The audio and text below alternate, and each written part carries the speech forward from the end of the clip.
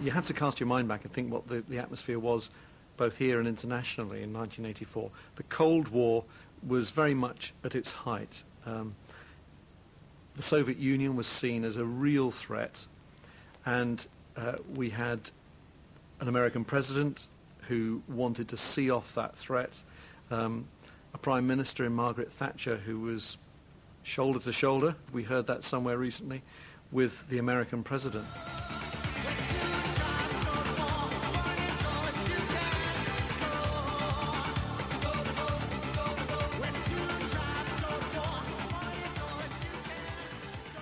In the summer of 1984, the east of England became a focal point for campaigners who were opposed to American nuclear weapons being based on British soil.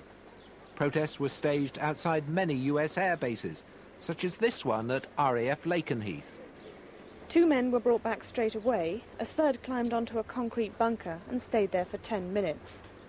One of the main centres of protest was RAF Molesworth in Cambridgeshire, where it was believed the US Air Force was planning to site the latest addition to its nuclear armoury, cruise missiles.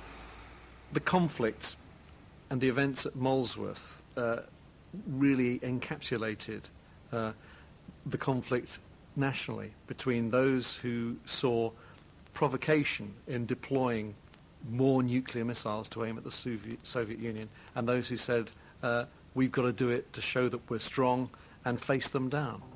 In August, hundreds of peace protesters came to Molesworth to hold a week-long summer festival.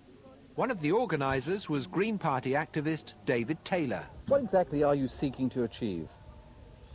Uh, eventually, we want to stop deployment of cruise, which is scheduled for 1988. We want to build up a campaign starting here that's actually going to involve thousands and thousands of people. Remember, there's some 60% of the population oppose deployment of cruise.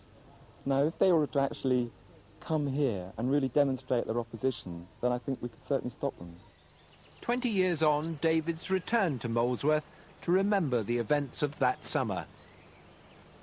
Well, it's all changed a bit. I'm trying to work out where my teepee was, and I think it must have been roughly here somewhere. This was called Admin Alley. This was all the sort of Green Party types, you know, the sort of more political ones. We were all along here. This piece of woodland became the nerve centre where David planned the second stage of the campaign basically we tried to persuade people to stay on. And uh, we were successful. We got about 100 people. I remember going around with a stencil just saying, we're staying.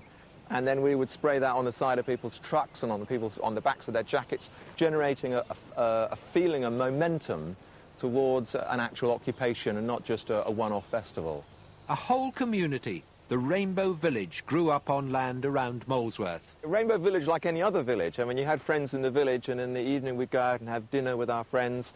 And I can remember coming down here, because I had one or two friends actually on Peace Lane, I would come down and have dinner, and you can just picture the scene with um, sort of caravans and buses and things with sort of, you know, the dinner is, is, is fires are lit and there's sort of smoke coming out and there's a smell of cooking. Um, it was very friendly. But as summer turned to winter, the protesters realised their days at the base were numbered. With the government preparing to evict them, they decided to do all they could to gain maximum publicity for their cause. Our whole strategy was based around getting Molesworth on the front pages.